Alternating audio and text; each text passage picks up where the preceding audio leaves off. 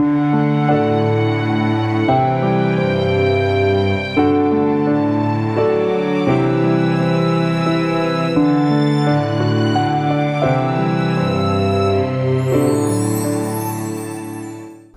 ailəsinin bütün üzvlərini salamlayırıq.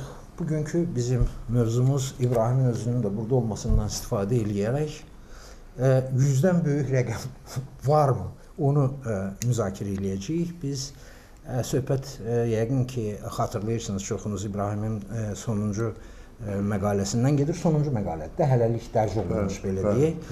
Ə, çünki mən baxdım oxu sayı da kifayət qədər böyükdür və orada İbrahim dünyanın yaxın vaxtlarda çox böyük sürətlə dəyişəcəyindən yazırdı. Çox şey tamam başqa cür olacaq. Hətta universitetlər də, müəllimlər də, küçələr də, o cümlədən mən orada bir ifadə də oxudum. Ağır, ağıllı divarlar peyda olacaq elə küçələrdə bütün informasiyanı özündə daşıyan, özündə daşıyan divarlar yeri gəlmişkən mən məni bu ə, ə, fantastik əsərləri yadıma saldı. Bradbury-nin 450 Fahrenheit üzrə əsərində o ağıllı. Səhv eləmirəmsə ağıllı divarlardan söhbət gedir. Səhv eləmirəmsə hətta Orwell-də də ona bənzər ekran, hə, 1984 əsərində ekran var. Bizi izləyən ekran. Yəni tamamilə fərqli yeni bir mühitdən ə, söhbət eləyirdin. Bu ə, məsələlər hardan sənin ağlına gəldi? Sən əvvəlcə bir onu Vallahi mən bu hər dəfə deyirəm, bu şeydə ə, kompüterdə özümün bir dənə qara bloknotum var. O da ə, ilk ə, şeydən, yəni aktiv jurnalistikadan ayrılanda belə ürək ağrısından özümə bir qara bloknot açmışdım ki, orada artıq e, müxtəlif notlarımı, qeydlərimi ora eləyirdim. Sonra baxdım gördüm Niyə ki, qara bloknot? Yox, bu aldığım, aldığım əlimə keçən bloknot. Rəngin taleyi rəngi, rəngi, yox. rənginə görə, rənginə görə qara bloknot və orada orada bütün qeydlərimi ora eləyirdim və o bloknotda ilk səhifəsində belə bir şey, özüm üçün zarafat yana bir şey yazmışdım ki, mən böyüyəndə Michio Kaku olmaq istərdim. Bu da Michio Kaku da e, o məqaləmdə var, çox görkəmli bir fizikdir, Yapon əsillidir. 3 nəsil əvvəl e, babaları e, San Francisco e, zəlzələsinə kömək üçün gəliblər və gəlir çox böyük bir fizik olur və elmin kütləviləşdirilməsində, popularizə olunmasında 3-4 dünya çapındakı adamlardan biridir. Və tam o sırada da, e, o sırada da Elçinə zəng vurdum, ə- ənənəvi bizim e, aramızdakı zənglərdən ki, Elçin bəs Michio Kakudan yazacağam. Elçin də yaz deyir də, heç ağına bozuna baxmadan əvvəlcə yaz deyir. Çünki bilir ki, mən o yazını yazana qədər e, müxtəlif orada dəyişikliklər olacaq, müxtəlif şeylər girəcək içinə.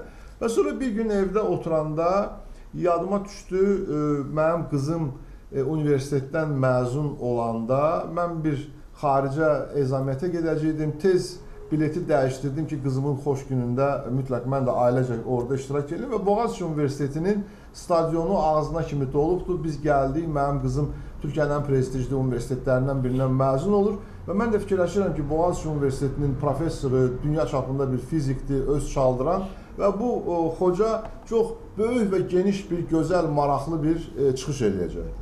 Və məzuniyyət törəni başlayanda e, e, rektor çıxdı səhnəyə və dedi ki, mən buradan məzun olan bütün tələbələrdən üzr istəyirəm. Çünki dünənə qədər öyrətdiklərimiz axır e, gəldi elə oldu ki, sabahdan hamısı köhnələcəkdir. Gedib təzədən hər şeyi öyrənməlisiniz, yeni texnologiyaları. bu böyük böyük çıxış. Çox böyük bir çıxışdır. Elə mən zaten məqalədə də yazdım ki, bəlkə də e, ən gözəl məzuniyyət çıxışlarından biridir və e, həqiqətən də oturdum Michio Kaku o belə paralellər gətirdim və sonra getdikcə, getdikcə, getdikcə gəldik o mənim oradakı Pritchama, sonra Pritchadan sonra Wittgensteinə. Onun indi ümid edirəm ki, e, Arifə imkan versək, Arif hamısını e, tez şəklində hə, e, bizə e, o e, pasları ötürəcəkdir bizə üçümüzə də. Prinsipcə bu mövzu ə, Elçinə də çox yaxın mövzudur da. Siz 4-cü sənaye inqilabından yazıb. Hə, indi o barədə yəqin biz ayrıca söhbət eləyəcəyik, amma bütövlükdə bax bu e, dünyanın e, çox sürətlə ə, dəyişməyi və dünyanın sürətlə dəyişməyini dərk elədikcə bir sualı tez-tez özünə təkrar eləməli olursan. Sual ə, sənin də yazında var İbrahim. Bəs biz burada hardayıq? hardayıq. Biz e, hardasa olmaq üçün Əvvəlcə o Boğaziçi Universitetinin ə, rektorunun çıxışında bir fikir var. İbrahim danışdı, amma o yəni yazısında o fikir var. Deyir ki, biz sizə düşünmək və araşdırmaq həvəsini öyrətdik. Öyrətmişiksə, hə, nə xoşbaxt. Öyrətmişiksə, deməli əsas odur ki, bizdə adətən ə, yəni yadıma gəlir həm yəni Sovet məktəbində oxumuşuq. Hətta bizdə ə, institutda bir müəllim var idi. Demək, ə, mən ə, institutda ali təhsili ə, rusca almışam. Bu insan rus dilini zəif bilirdi və bir e, demək dərslikdən oxuduğu cümlələr var idi. Çaşıb başqa bir kitabdan eyni mövzunu başqa sözlərlə yaxud öz sözlərinlə desəydin, bu adam deyirdi ki, siz heç nə oxumayıbsınız, heç nə başa düşmürsüz və səhv deyirsiniz və iki yazırdı. Amma hərçənd, e, yəni bu nədən irəli gəlir? İndi o adamın dili bilib bilməmək o başqa bir məsələdir. Söhbət dar düşüncədən gedir. Ancaq bir istiqamətdə düşünməkdən gedir. Çərçivələrdən qırağa çıxmaqdan, qorxmaqdan gedir. Zaten bu barədə məqalənin o biri tərəfində də yazılıbdı və ümumiyyətlə kim başını çərçivədən biraz qırağa çıxartmaq istəyirdi, öz sözünlə nəsə demək istəyirdi. Tutalım dərslikdəki sözlə yox, başqa cür dərslikdə yazılanı biraz düşünüb nəsə demək istəyəndə indi müəyyən şeylər var ki, tutalım Pifaqorun teoremini sən ə, e, öz başından nəsə öz sözünlə deyəmirsən, bu dəqiq elmdir, bu belə olmalıdır. Amma düşüncəyə gələndə və hətta sən birdən düşünsən ki, tutalım Pifaqor düz demir, bu teorem belə olmamalıdır, elə olmalıdır. Bu artıq onu göstərir ki, ə, sən nəsə düşünməyə meyllisən. Bizdə təhsil çox təəssüf ki, və ümumiyyətlə bizim həyatımız ondan ibarətdir ki, hər halda mən belə düşünürəm ki, biz qeyri-standart düşünməyə meylli deyilik. Bunun da səbəbləri var. Yəni hər bir insan ə, özü istədiyi kimi hərəkət eləmək istəyir.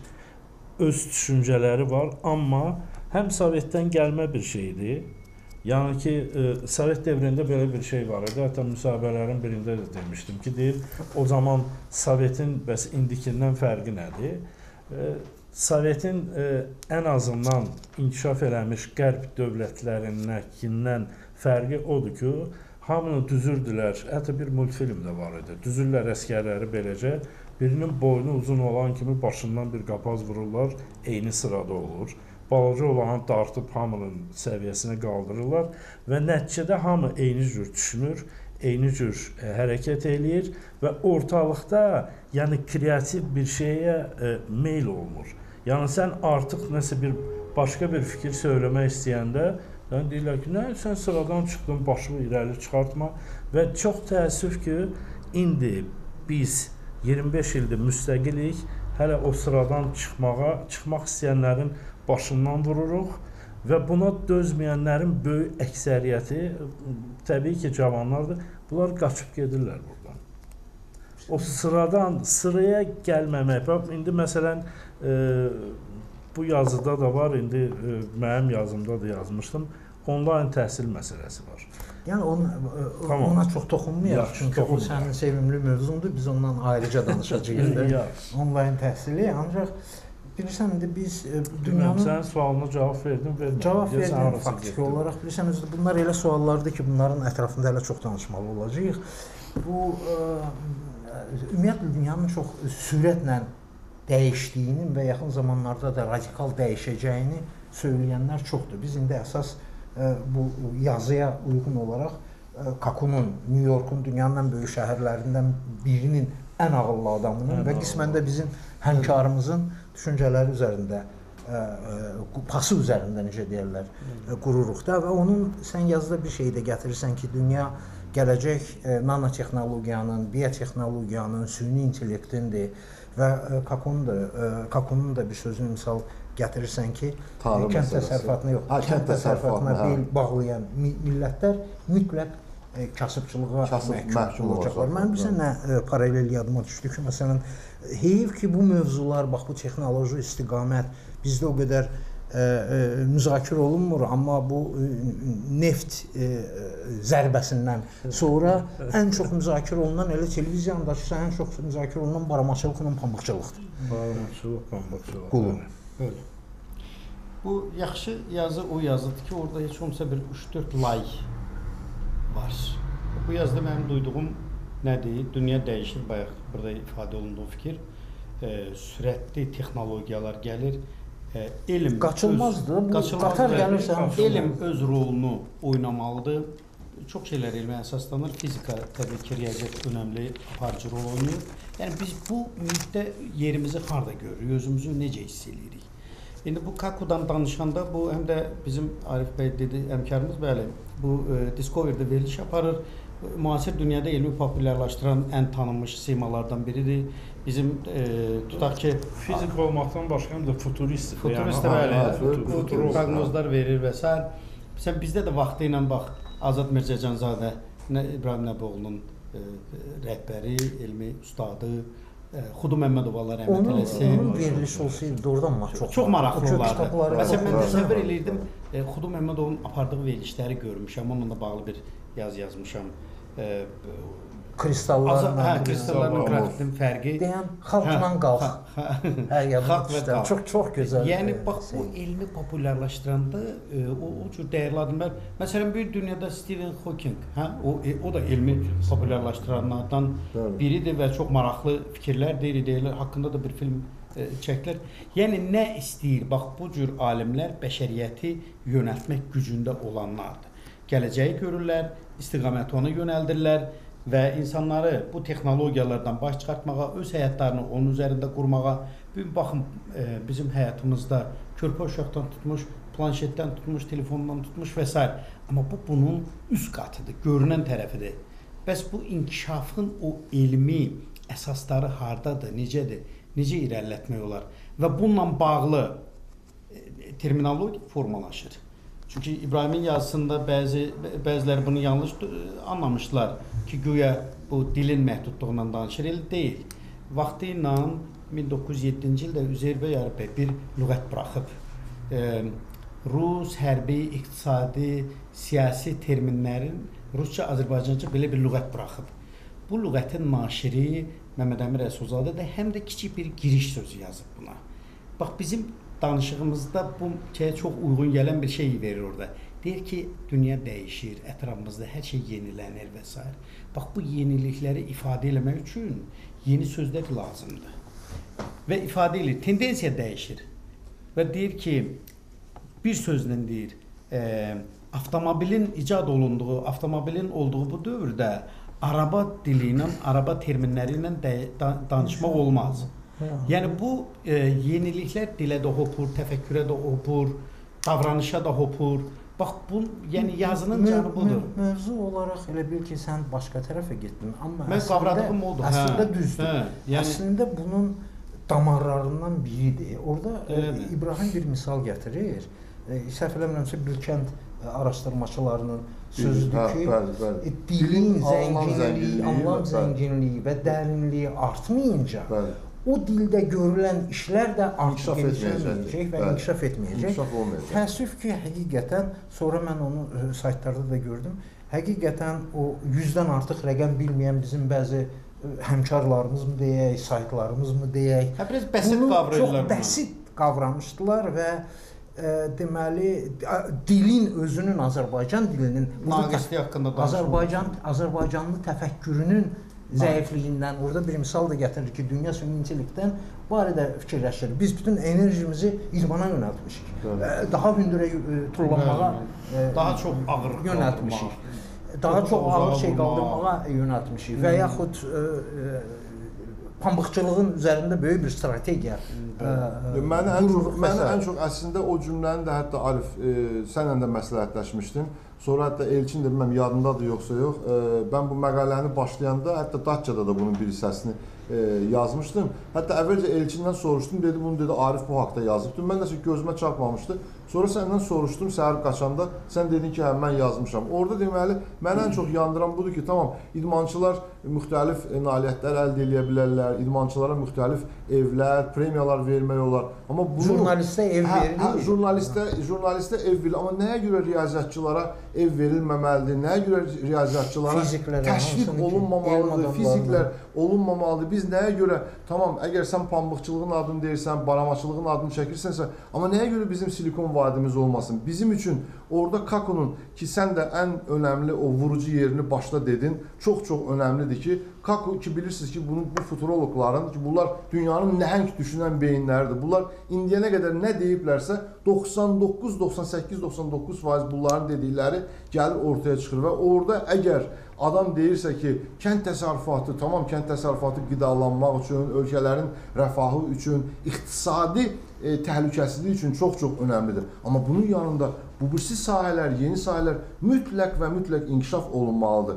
Baxın, mən sizə bir çox ağrı verici bir misal e, deyəcəm. Türkiyə universitetləri bilirsiniz ki, bir moda oldu. Hər tərəfdə az qala hər qəsəbədə universitet açırdılar və keçən illəri Türkiyənin 30 dənə universitetinin rektoru birləşərək mərkəzə Ankaraya məktub yazdı ki, bizdə fizika fakültəsini, ondan sonra riyaziyyat fakültəsini, kimya fakültəsini, müasir texnologiyalar fakültəsini bağlamaq lazımdır çünki qəbul yoxdur. Amma management, dizayn, art dizayn, mart dizayn, vart dizayn 50 cür mənasız şeylər eləyirlər. Amma baxın, Türkiyədə ən böyük puanlarla sən beynəlxalq çox mücərrəd bir şeylərə, beynəlxalq iqtisadi əlaqələr, beynəlxalq bilməm nə, Hüquq, mən- onlara qəbul olurlar. Amma bizim bəyənmədiyimiz bəzən bir çox hallarda müəyyən siyasi, iqtisadi məsələlərdən dolayı bəyənmədiyimiz bizim cənub qonşumuzda ən yüksək ballarla e, riyaziyyat fakültələrinə, riyaziyyat və fizika fakültələrinə,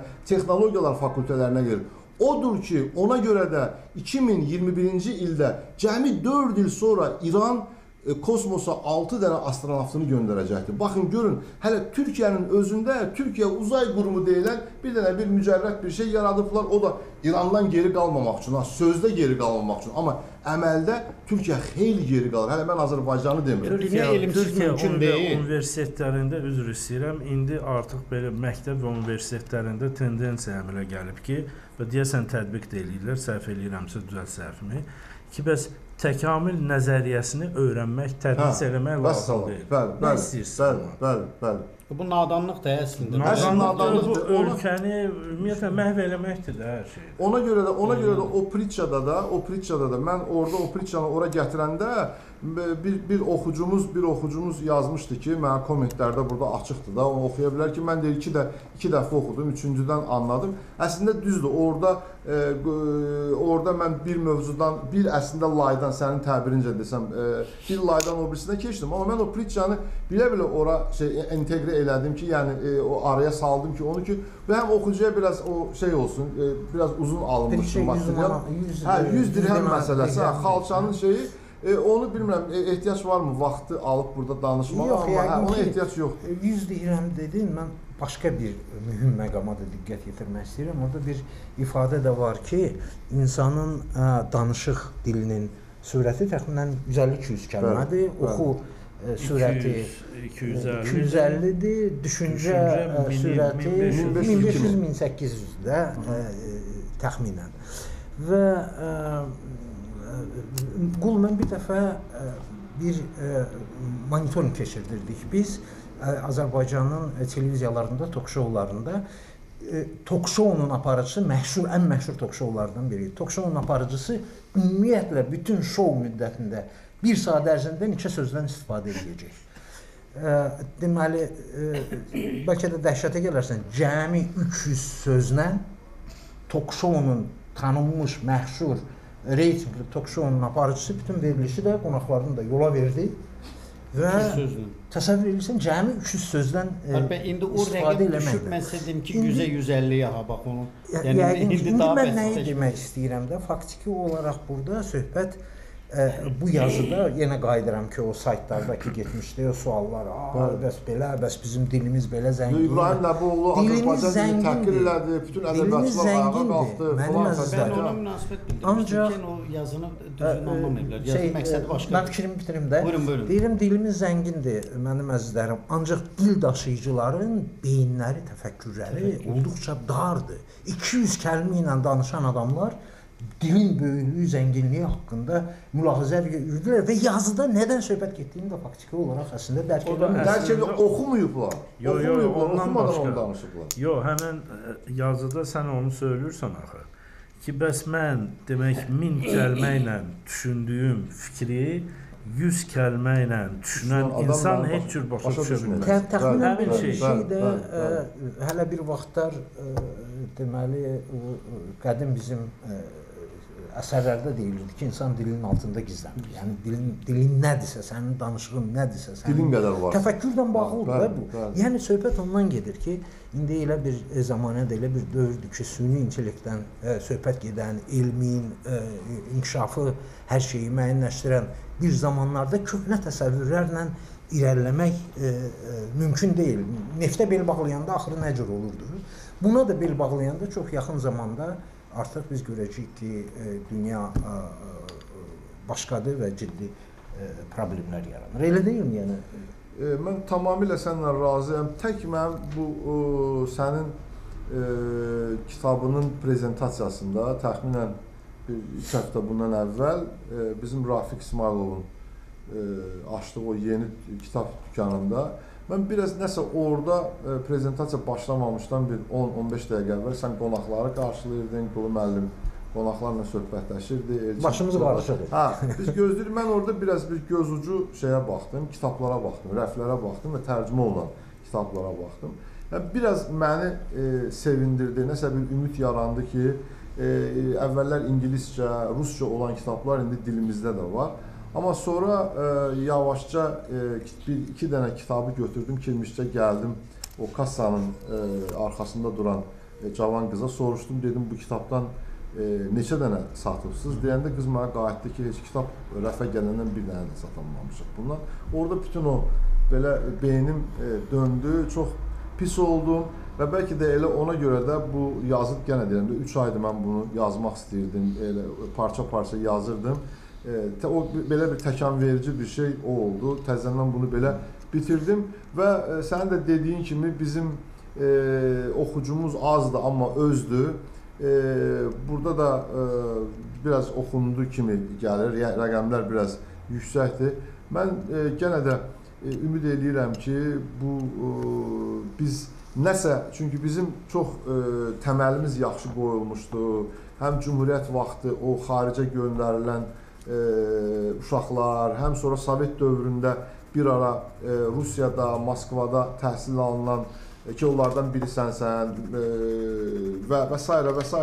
Mən ümid eləyirəm ki, bu e, xaricdə təhsil almış bizim uşaqlarımız e, burdakı e, şəraitin onların lehinə dönəcəyini görüb e, gəlib burada nəsə bir e, bir O bir yeri şeylər- yıxsaq valla bir silikon vadimiz var. Hə, bir Nə silikon vadimiz var, hə. bir, bir silikon vadimiz var və e, orada da, orada da, orada da, orada da e, mən görürəm ki, e, texnolo e, yəni müasir texnologiyalar üzrə təhsil alan uşaqların da sayı çoxdur. Mən bilirsən deyirəm nə nə nə nəyin yerdim əgər e, o şeylər olsaydı. Bu saat bir şah bunu özəl eləmişdi Turgut Özal. Bir çağırışla müraciət eləyəsən o insanlara, hər biri üçün şərait yaradasan o gənclərimizə. Bəli. Və doğrudan da yığasan bura. Özüm ölüm 20 ildən sonra onlar elə inkişaf perspektivi verə bilərlər. Arzudur. tutmuş ə, hansısa firmalarına baxsan elə özümüzün ə, nə qədər orada övladlarımız var.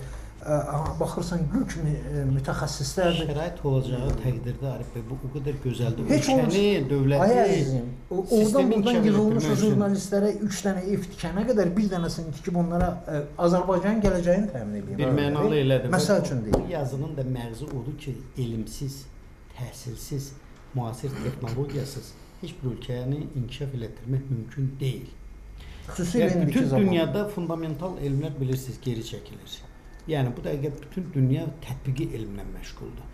Çünki fundamental elm bir sahə ilə bağlı, bir predmetlə bağlı müəyyən əlavə informasiyalar verir, əlavə bilgilər və laboratoriyasına sair. işləyir Hə. öz içində. Amma biraz. tətbiqi elm o praktikaya tətbiq olunmalıdır. Yeni texnoloji sistem və o sahəni irəlilətmək imkanlarını göstərir. Evet. O baxımdan bax o Kakunun, digər bu alimlərin gördüyü işlər budur. Yəni İbrahimin də yazısının məğzi budur. Biz bu ölkədə keyfiyyətli təhsilə nail olmalıyıq. Elm hardadır, necədir, nə tər inkişaf eləyir? Mən 2 il akademiyada işlədim və dəhşətə gəldim ki, bu cür sistemlə bu elm hara gedə bilər? Bu alimlər bilmir kirayə dərdini versin, çəksin, bu kiçik maaşla ailə dolandırsın, yoxsa ciddi elmi tədqiqatlarla məşğul olsun. Düzdür var. Məsəl üçün o, o e, informasiya texnologiyaları institutunda mən onu yazmışdım dayanada. Mənə çox e, Hə, heyrət elədim. Bu necə o e, Rasim Əlquliyev Və söz vermişdin bizi bir dəfə Hə, aparasın. apar, aparar, hə, aparmamışam elə. Gedərik. Yəni Rasim Əli mən baxdım orada dünya ilə səsləşən e, ciddi bir sistem var. Amma hamısı elə deyil axı. Bu bir güllə yaz açılmaz. Bu bir sistemə Mən çevrilməlidir. səndən bir şey də soruşmaq istəyirəm. Azərbaycan hə. təkcə bu deməli bayaq dediyim məsələlərin yox, həm də televiziya məkanının bilgilərindən biri kimi. Bizdə sözsüz ki, bu indi danışdıqlarımızı e, təfəkkürə yeritmək üçün və s. bu xırda bir dövr, dö, dövr Bəli. deyil. Bu qərbdə də elə birdən-birə cəmaət hamısı belə ağıllı e, anadan olmayıb ki. Mhm. Yəni burada dövlətin vəzifələri var, cəmiyyətin strukturların e, e, vəzifələri var, medianın vəzifələri var. Bizim e, telekanallarda hamısını bir yerdə yığsan, radiolarda bu Kakunun verilişinə bənzər. Yox. Belə bir bir dənə sada veriliş varmı ki, Yox. populyarlaşdırsın bu şeyləri? Buna cəhdlər. İbrahim, Məsəl üçün ictimai televiziyada Yox, indi var indi bu dəqiqə yoxdur. Məsəl üçün bunun üçün Yəni bizə lazım deyil alimlər bizə- alimlər cəlb olunmalıdır. Bax Sovet dövründə o cür alimlər vardı. Xudu Məmmədov veriliş aparırdı. Sonradan Rafiq Əliyev bizim e, hörmətli akademikimiz, indi dünyada tanınan alimdir, Lütfuzadənin davamçısı bu. O cür alimlər yoxdur. Elmi populyarlaşdıra bilən insanlar yoxdur. Yəni onlar elmi sevdirsin, maraq oyatsın, xüsusi o dərnəklər yaradılsın elmlə. Sovet dövründə bunların hamısına diqqət yetirilirdi. O pioner evlərində o konstruktorlar, nə bilim, ixtiraçılar nə açırdılar. E, gənclər gəlirdilər, həvəslə qoşulurlar bu işə. Yəni onlar özlərinin kiçik kəşfləri ilə böyük elmə doğru cığır aça bilirdilər. Mən- Təəssüf ki, yoxdur. Televiziya bunu eləmir. Hə. E, Bu şeylə bağlı e, Bakıda bu restoranların, kebabxanaların, şadlıq sarayının bol olduğu bir şəhərdə indi hələ bir tərəfə keçək, o bir tərəfə hər dəfə mən Elçinə də deyirdim, bir dəfə də sənə də demişdim, danışmışdım. Deyəsən ki, o vaxtı e, ASTV-də və BBC-də aktiv çalışdığım müddətdə xəyal eləyirdim ki, bu e, Azərbaycan kimi kulinariyaya önəm verən bir ölkədə bir Amerikadakı, bir İtaliyadakı, bir Almaniyadakı qədər bir dənə də olsun dərman üçün, bir dənə də olsun gastronomi yazarı yoxdur. Bütün böyük inkişaf eləmiş ölkələrdə gastronomi yazarları var.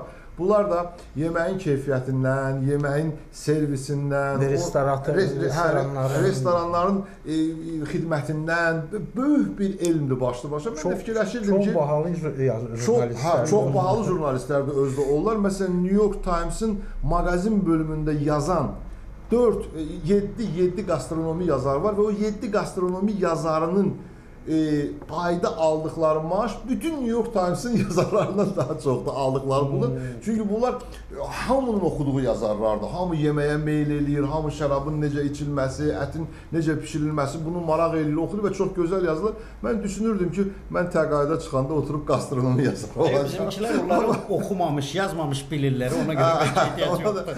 ona görə gastronomi yazarımız da yoxdur, gastronomi verilişimiz də yoxdur, elmi kütləvi proqramlarımız da yoxdur. Çox çox çox Amma çox yemək çox çox təsir. var. Yemək Yəqin verilişləri. ki- Yox, yemək verilişləri yox, gastronomi verilişləri. var. Yəqin ki, deyilməmiş sözlər qaldı. Amma ə, nəzərə alaraq ki, ə, mövzu həqiqətən çox uzun ə, çəkəcək söhbətdir. Biz də yazacağıq bundan bağlı. Elə bizim ə, növbəti yəqin ki, müzakirəmiz də qismən buna bağlı olacaq. Elçin Mö- 4-cü mövzu- sənaye inqilabına Bir bunu yazısı. müzakirə eləmək lazım. Mənim də elə. Şəxsən. Hə, qismən bağlı Şvabıdır, olacaq. şvabıdır. Yəni qalan fikirləri də ə, orada da biz söyləyə bilərik, çünki bunlar çox çox bağlı bir-birlərinə mövzudur, amma hər halda mənə elə gəlir ki, bugünkü bizim söhbətimiz çox ə, produktiv oldu. Ən azı ə, həm o dediyimiz o olmayan verilişləri əvəzləmək ə, baxımından televiziyada ə, ə, və amma və bir neçə də bir təklif də ortaya çıxdı ki, həqiqətən belə verilişlərin bu gün yaradılması. Mən bilmirəm bizim e, tele milli teleradio şuramız mı bunu əlbəttə eləyə bilər o necə deyim düşük-düşük e, seriallara e, 100 minlərlə pullar ayırılır. Olmazmı ki, bir dəfə də növbəti pul ayrılanda elmi kütləvi verilişlərə biz hara gedirik, dünya hara gedir? Bu mövzuda elmi kütləvi Amma mən verilişlərə bayaq çox səmimi dedim ki, mən Belə düşük olanda danışanda niyə istəyirəm. İnandırım səni, e, inandırım səni. Bilirsən necə maraqlı şeylər Çox, çox maraqlı oldu. Çox. Əlbəttə artıq olar. amma- Dünyanın ən maraqlı verilişləri bu saat bunlar. Bu amma- bir tək. Kanal necə- Sən Amma- bugün az yox, yox. danışdın, ona görə sənin sözünü kəsə bilmərəm. Sən mənə söz veribsən ki, növbəti dəfə biz müzakirə edəcəyik, ona görə çox Özünü saxlayırsan. Özümü saxlayıram, amma müəyyən bir məqam var. Məsələn, e, hansısa veriliş psat şeylərə baxırlar da, reytinqə baxırlar. Görüm kim daha çox reytinq qazandı və ciddi ağır verilişlərin reytinqi olmadığına görə kanallar məcbur olur onu çıxardır. Əgər özü özünü maliyyələşdirirsə. Amma tutalım indi ictimai televiziyadır, dövlət televiziyasıdır. Bunlar onsuz da büdcədən e, maliyyələşdirirlər və ona görə də reytinqin dalınca qaçmaq lazım deyil. Burada sən insanı, istehlakçını e, belə də e, kobud mənada televiziya istehlakçısını, yəni tamaşaçını nəyə öyrədəcəksənsə, o da yavaş-yavaş ona öyrəşəcəkdir. Biz indi o sən dediyin o seriallara milyonlarla pul buraxılır. Hamının da beyni odur ki, aha, qaynata nə bilim e, gəlininə e, pis baxdı. Qaynana ilə e, gəlin həmişə bir-birini didir. Qardaş ona xəyanət eləyir. Bu buna xəyanət 90% başqasının yorğanının altına girmək, girmək. hamısı odur və insanların beyninə yeridilir ki, bax elə həyat bundan ibarətdir. Elə deyil, mənim əzizlərim. Həyat tamam başqa Ona şeydir görə və təfəkkürə uyğun dildə bəsdir.